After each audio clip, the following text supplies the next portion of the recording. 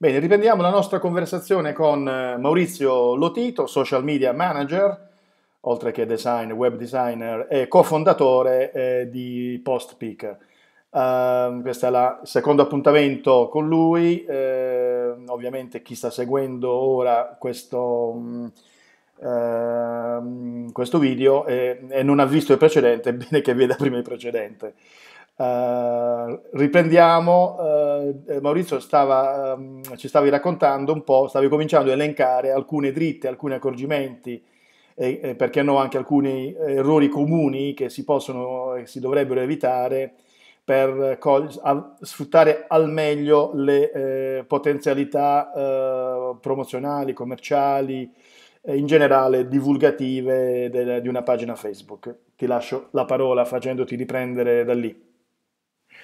E grazie, bentrovati a tutti. Um, sì, ci eravamo lasciati uh, parlando appunto di uh, alcuni errori da evitare, in particolar modo facevamo una distinzione tra l'utilizzo corretto di un profilo personale uh, e, anziché invece di una pagina Facebook che è il luogo diciamo deputato e, e idoneo per avere una presenza diciamo di tipo commerciale eh, professionale e quant'altro. E poi eh, avevamo, eh, stavamo parlando anche dell'importanza eh, che eh, i contenuti rivestono nella, nella comunicazione che noi operiamo attraverso i social network, quindi quanto sia importante che i contenuti che creiamo risultino interessanti e di conseguenza di qualità per il il pubblico che, che, ci ascolta e che segue i nostri canali. Eh, aprirei una parentesi proprio a proposito del, del pubblico, eh, perché è importante conoscere eh, bene, sapere, avere contezza appunto eh, di chi ci sta ascoltando.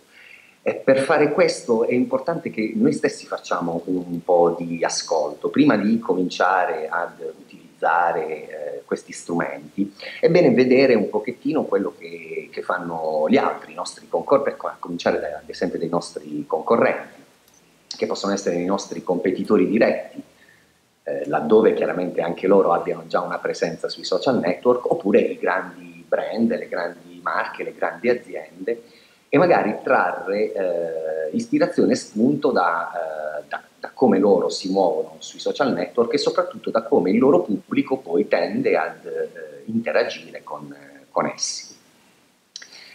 Uh, quindi, eh, quando, uh, tornando un attimo al discorso dei, dei contenuti, abbiamo parlato uh, del contenuto di qualità, abbiamo individuato anche alcuni temi ed argomenti che possono essere trattati e che possano risultare attraenti per il nostro pubblico.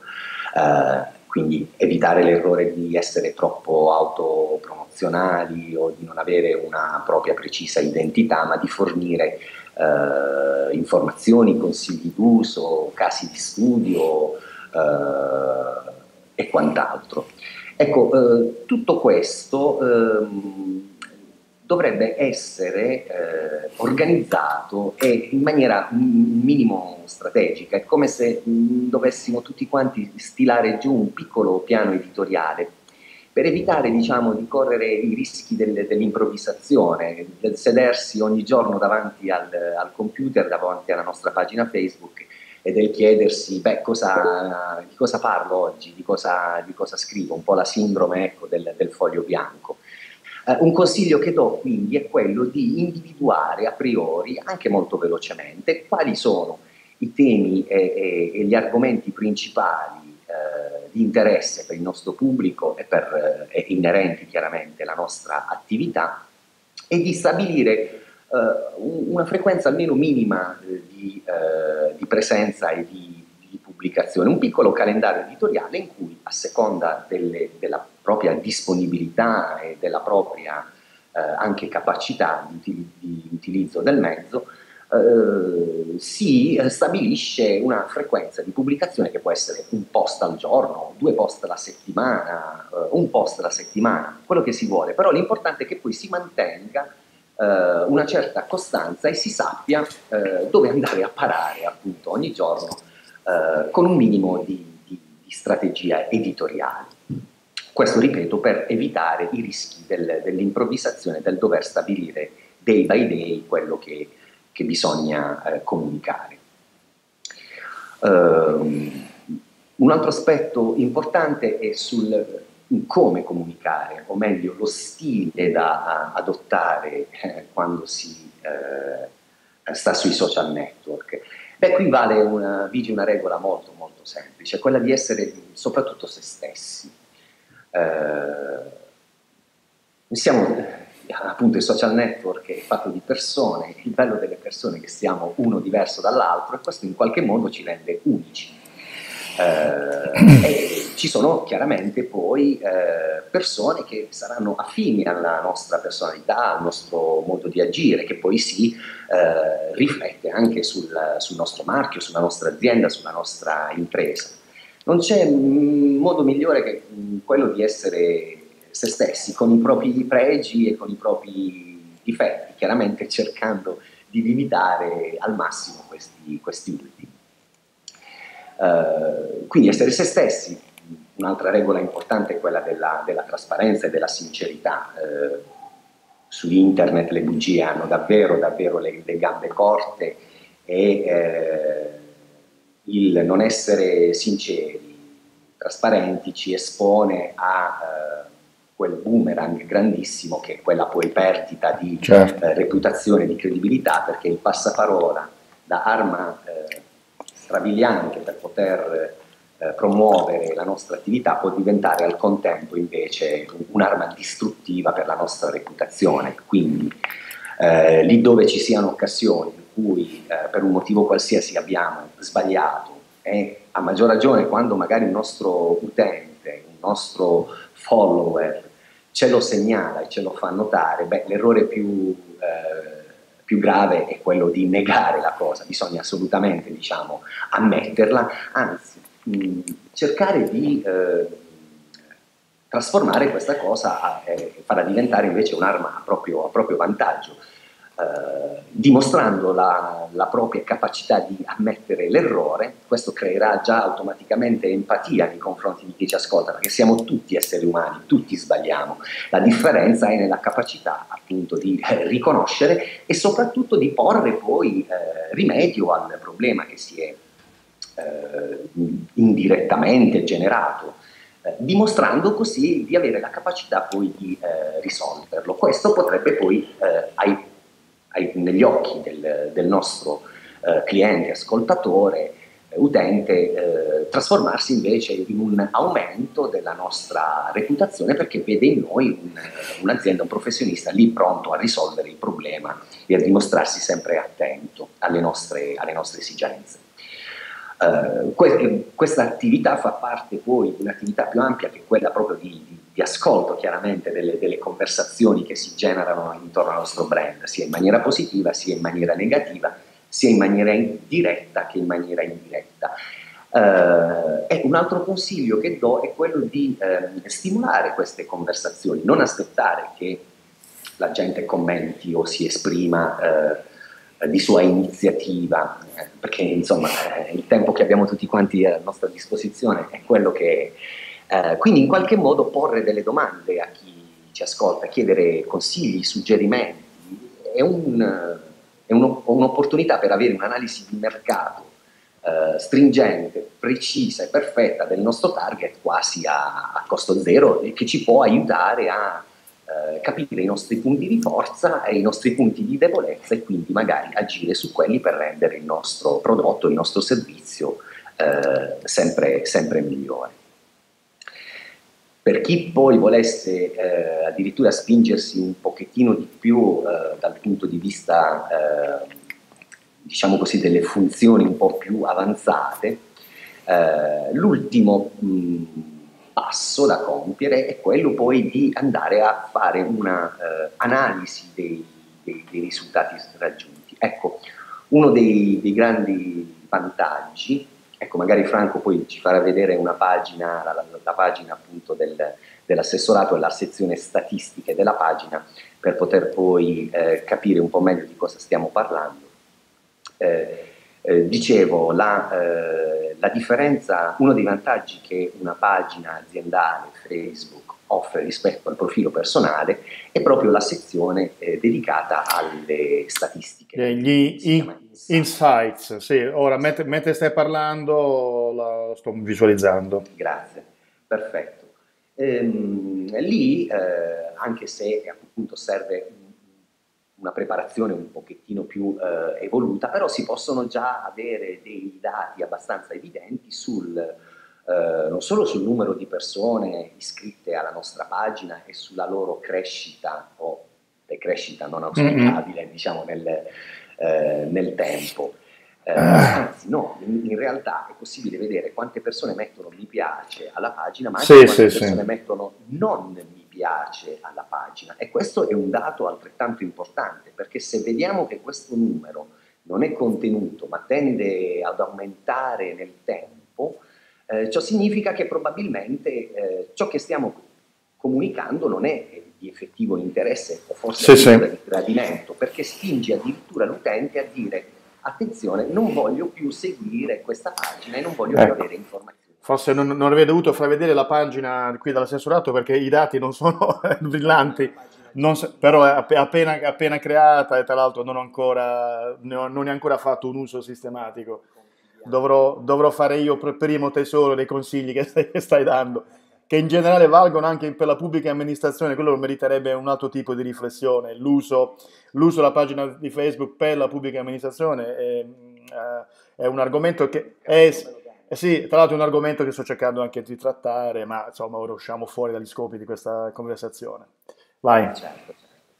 Eh, e niente, quindi si possono poi avere altre informazioni ancora più preziose, ad esempio sulla composizione demografica del, del, del pubblico che ci ascolta cioè una, avere una divisione numerica precisa tra quanti utenti maschi e quanti utenti femmine ci seguono, eh, la fascia di età, eh, diciamo in, in, maggiormente in cui eh, rientra la maggior parte dei nostri utenti, i luoghi da cui si connettono, città e nazioni. E queste sono informazioni, ripeto, molto preziose che possono eh, tornarci utili qualora noi vogliamo poi ottimizzare la nostra comunicazione proprio in base a questi dati. Se sappiamo che il nostro pubblico è all'85% maschile, faccio eh, un esempio, il primo che mi viene in mente, beh allora probabilmente se la mia comunicazione, il mio stile, il mio modo di presentare i contenuti, i contenuti stessi ammiccano eh, di più al pubblico maschile, anche semplicemente con il linguaggio che si utilizza, rispetto a quello femminile, probabilmente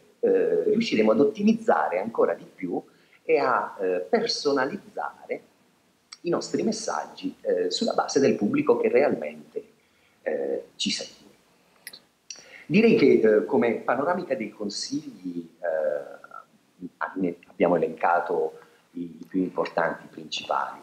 Io mh, chiuderei adesso facendo una riflessione di carattere generale se sei d'accordo, su, su, su quanto poi eh, costa ecco, questa, questa, attività, Beh. perché sembrerebbe bellissimo, è uno strumento eh, gratuito, non dobbiamo pagare certo un canone di, di, di accesso o un abbonamento per poter sfruttare. Nonostante le bufale che periodicamente girano attorno al Facebook che diventa pagamento. e anche su quello bisognerebbe fare una, una, un discorso sul nuovo una nuova forma di analfabetismo, l'analfabetismo funzionale che, su, che, ci fa appunto dare credito a delle sciocchezze. Queste bufale. A queste, sì, ah, anche questo è un altro capitolo. Periodicamente si, si, si riaffacciano eh, sui, sui, nostri schermi. Ecco. Sì, sì.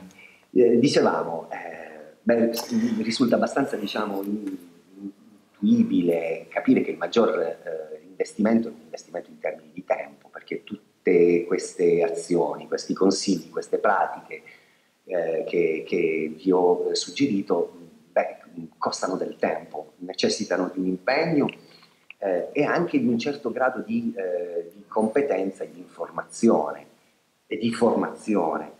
Eh, qui va sfatato eh, un altro dei miti famosi e ricorrenti che è quello del, del, che noi, noi, addetti al settore chiamiamo il cugino con due G, eh, in sostanza la, il tipico atteggiamento che hanno gli imprenditori di dire no ma ho mio nipote o mio cugino che sta ogni eh, ora tutti, tutto il giorno su Facebook, lui lo sa usare quindi faccio gestire certo. magari la, la mia pagina come pretendere che uno stia, che passi 10 ore al giorno davanti alla televisione e quindi abbia le competenze di Steven Spielberg, per esempio.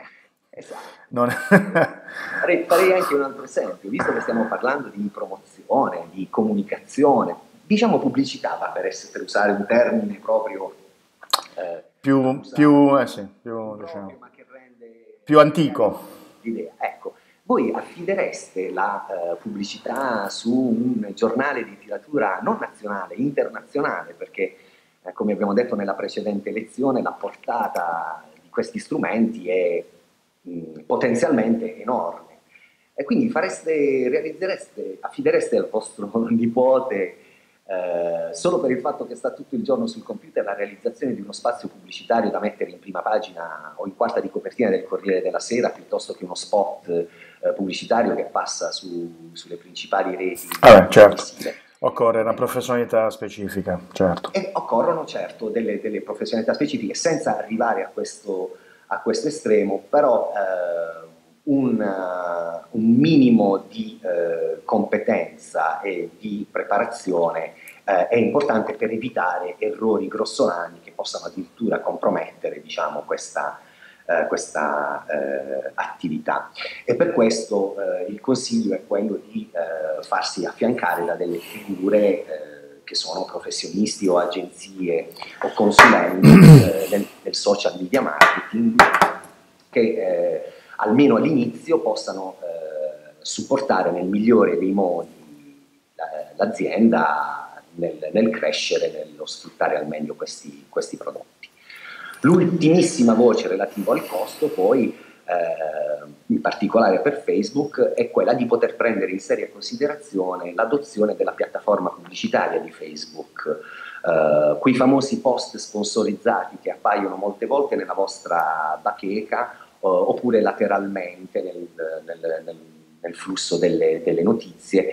Beh, ehm, molto velocemente vi assicuro che questo tipo di eh, investimento pubblicitario paragonato eh, a, ai media tradizionali eh, ha un rapporto qualità-risultato assolutamente eh, favorevole e vantaggioso con la possibilità di costruire dei messaggi che vadano a colpire esattamente il nostro pubblico di riferimento. Esempio velocissimo, mentre un passaggio RAI, prima serata, è visto da un pubblico abbastanza indistinto, sì, c'è un certo target di persone che vede quello lì, ma se io ad esempio vendo rasoi da barba, eh, tutto il pubblico femminile che si sorbirà quella pubblicità sostanzialmente eh, è eh, diciamo sprecato. In teoria. In teoria sì. Perché vabbè, vabbè. ma su Facebook possiamo calibrare perfettamente la nostra inserzione e dire che per esempio la vogliamo mostrare solo ad un pubblico maschile eh, una, che rientra in una fascia di età tra i 16 anni, prima adolescenza, e gli 80 anni, addirittura possiamo isolare anche dei luoghi specifici, tipo dire mostra la mia pubblicità solamente agli utenti di Facebook residenti ad Andria, perché il mio è un negozio di abbigliamento che ha un target diciamo limitato a quello cittadino e quindi evito che questo messaggio pubblicitario venga visto a Bari o a Milano dove chiaramente non avrei nessun interesse a uh, promuovere. Una comunicazione puntuale e mirata. Ottimo, bene, eh, beh, ot- grazie, eh, grazie Maurizio per eh, questa chiacchierata, eh, sia la prima, la prima la seconda, e buon social network a tutti. Buon social network.